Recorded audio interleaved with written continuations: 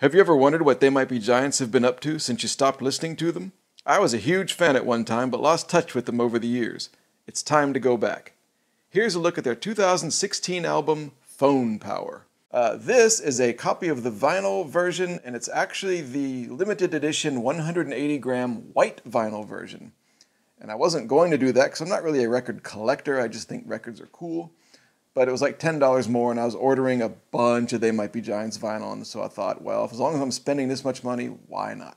So let's open it up. Let's open it up. Where do I start? I always want to put my thumbnail in here and like scrape it, but my thumbnail is too short. Try it. And I'm just to dent it. All right, let's try it, try it this way. My hands were clean several albums ago, but I've been sitting here opening a bunch of albums in a row, and I guess they're still clean. Anyway, this is white, so you won't be able to see my grubby little fingerprints. And if you can, keep it to yourself. I don't want to hear it. All right. Here we go. No stickers on this shrink wrap again.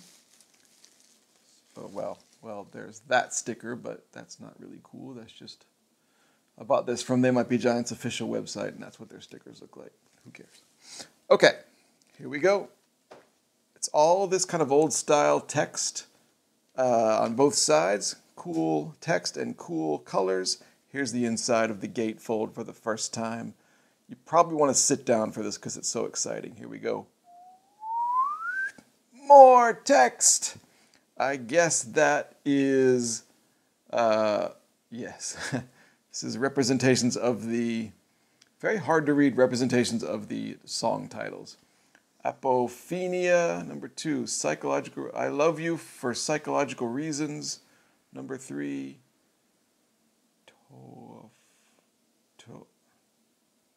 T-O-A forest? Toa forest? Anyway, so that is nothing. Let's see. Here we go. Let's check out what's in here. There's the inner sleeve, a custom printed inner sleeve. There, yeah, there's a download code card here. Thank you for purchasing this copy of They Might Be Giants Phone Power. Okay. Anyway, the inner sleeve is uh, glossy and nice. These are people in the fan club, I think super president, super president, super president. So super presidents of the fan club. Anyway. And some other, this is hard to read in a good way. I think it's hard to read in a good way. I love their uh, sense of art. Okay, here we go. Here's the vinyl. Here's the vinyl. I'm touching it. I'm sorry, but uh, it's hard to come out. Come on, come on. It's stuck like static clinging. Ooh that heavy white vinyl. Perfect. No song titles, just a little bit of basic information and a gigantic two and a gigantic one with a bunch of hyphens. This is beautiful. This is beautiful. This is going to be amazing to hear. So let's go listen to it. I'm going to go listen to it, find out all about the music, and then come back and talk about what I think of the music on Phone Power. Okay, I've been listening to Phone Power over and over all week. Before I heard it, I assumed that this album, which is made up mostly of songs from the last one third of Dial a Song 2015, sort of, was probably They Might Be Giants running on fumes, scraping the bottom of the barrel, exhausted and out of ideas, just cranking out boilerplate music to get through it all. Well, man, I was wrong. Phone Power is awesome. I think it's the two Johns inspired and playful, firing on all cylinders, as it were it all sounds so good, and every, every musical idea feels really comfy, like it's supposed to be, just like it is. I mean, it's not like Phone Power is a big musical departure for the band. John Linnell and John Flansburgh still write and record the music they're best at, which is, as always, Linnell's cheerful pop rock songs about confusion and the decay of relationships, and Flansburgh's more pensive and musically dense or playful explorations of people at crossroads and as I keep saying in every video, lots of crossover between them.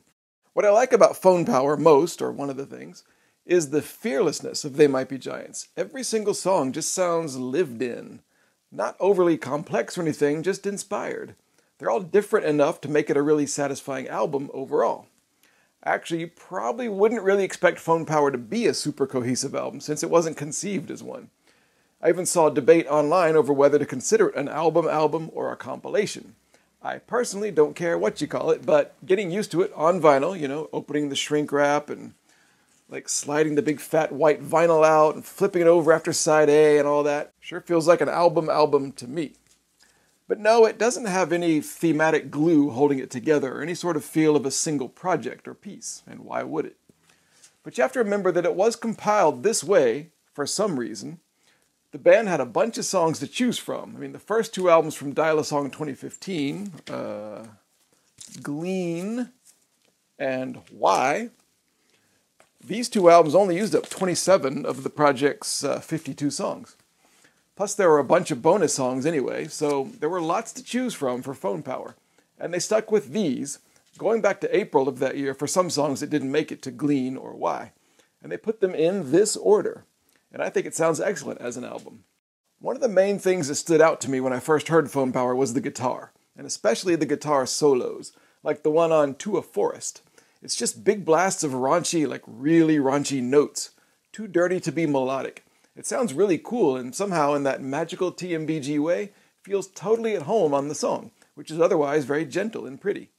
And then there's the two remakes on Phone Power, both guitar heavy, like heavy guitar driven versions of earlier, more gentle songs. One is Bills, Bills, Bills, which when I first heard the album I couldn't believe.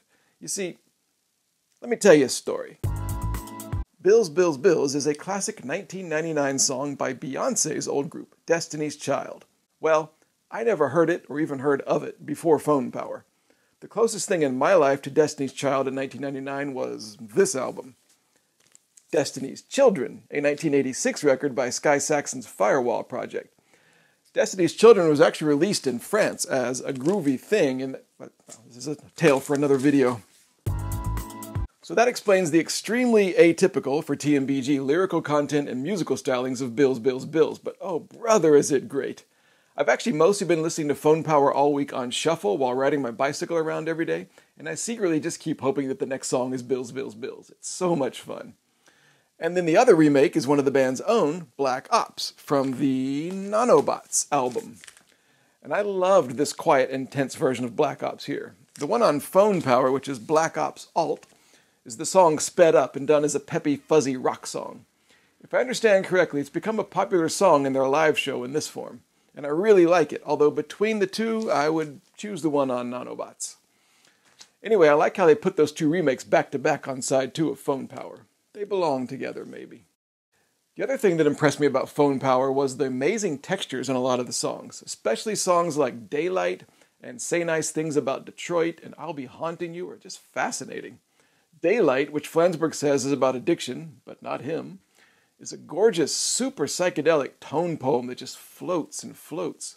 Say Nice Things About Detroit has a dry kind of angular guitar riff like, like a 1960s spy movie theme. Kind of like if I wasn't shy from Apollo 18. I'll Be Haunting You is sort of like those two mashed together, so it has a great balance of thoughtful drama and a sly kind of beat. Phone Power is wide enough for other stuff, too. I sold my mind to the Kremlin, which is apparently Flansburgh's artful rumination on liberals and conservatives in America, has a fun kind of clap along, sing along chorus, and it's really catchy. I wasn't listening as a short, silly country song about Dial-A-Song itself. Ecnalubma is a John Linnell song about household accidents and injuries and the noble and dramatic arrival of the ambulance and the, the, the heroic EMTs and the siren and everything. One of the best melodies on Phone Power, I think, is Trouble, Awful, Devil, Evil. And it's both Johns singing the chorus, which is just those words repeated, lifting higher and higher and higher. It's really pretty. By the way, two of the songs on Phone Power weren't technically part of Dial-A-Song 2015. They were both released in December 2014 as a sort of teaser bonus. One is the one about Dial-A-Song, I wasn't listening, and one is Got Getting Up So Down, which is a funky little number originally from a Dunkin' Donuts ad campaign that They Might Be Giants did in 2006. So, that's Phone Power. A great end to the Dial-A-Song 2015 project and an excellent record to stick on the turntable and play you take a little trip through the humorous and skillful musical worlds of They Might Be Giants and their producer Pat Dillett on this album. I love it. And speaking of the record, the vinyl version of Phone Power is another gatefold, as we saw, uh, without lyrics. All four surfaces of this gatefold, plus the uh, inner, the glossy inner sleeve here, have this cool uh, decoration, this typographic designs from Paul Sahre. What I like about them is that each one has a unique color scheme, that they look really cool against the white background. What else I like is that they look old school, like 1980s text-only computer screens, you know, like MS-DOS. But when you look closer, the letters are doing things that were clearly created on a modern desktop design platform. It's a good visual metaphor for the influence of the past informing the art of now, just like in the album's music. Still would like to have the printed lyrics, though. Again, as on other recent They Might Be Giants albums that I've bought, the download code worked, for what it's worth. And Phone Power was pressed on normal black vinyl, but I opted for the limited edition 180 gram white vinyl. Only 500 of these were made, so I'm one of the few lucky ones that gets to watch the big fabulous white platter just a spinning and a spinning around and around while all that wonderfulness blasts out of the speakers. So that's my take on Phone Power. I'll sum it all up with a corny line and a great line from the album's final song, I Wasn't Listening. My mind is a desert, and Dial a Song is the horizon line.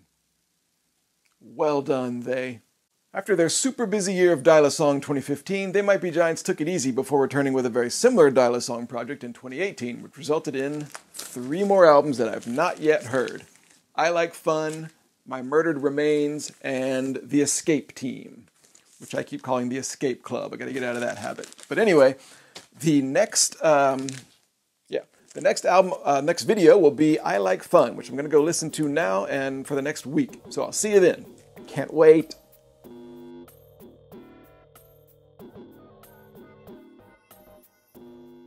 Don't drop the record. Okay, this goes in easily. Mm-mm-mm. And of course, I don't miss the extra $10 now, and I'm glad I got the white vinyl. Going to look awesome sitting on the, or spinning on the turntable. Phone power. Cardboard power. Then there's the two remakes. then there's the two remakes on Phone Power. Then Bills, Bills, Bills is a classic 1990 90 90 Ecnalubma is a John Linnell song about asshole. Ecnalubma is an